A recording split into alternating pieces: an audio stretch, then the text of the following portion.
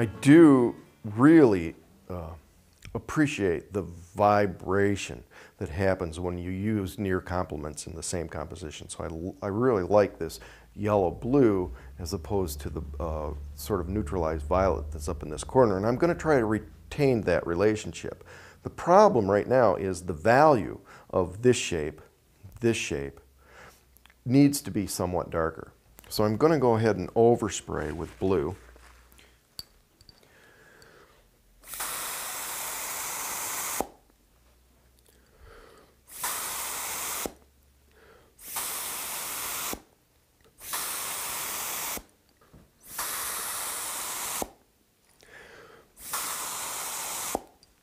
The next darkest value thing is really quite light. Linked a, a, rather large shape together here. And what I've done is link the shadow from this petal and the inside of this petal and the inside of this petal to become one shape.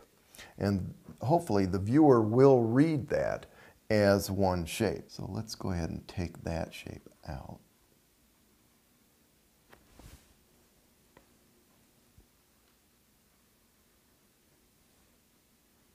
Go ahead and try to take this out.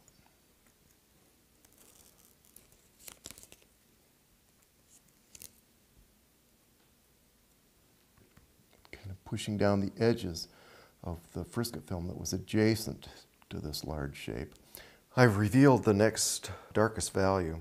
In relationship to everything that's been done, they're really quite light in value. So I'm going to overspray those, a couple layers of yellow, a couple layers of red to, to make them orange. I, I, may let the yellow be a little more dominant this time, both because I like the bounce between the yellow and the violet that's going on, also because yellow is just a naturally lighter hue than the red. That'll help me get that lighter value.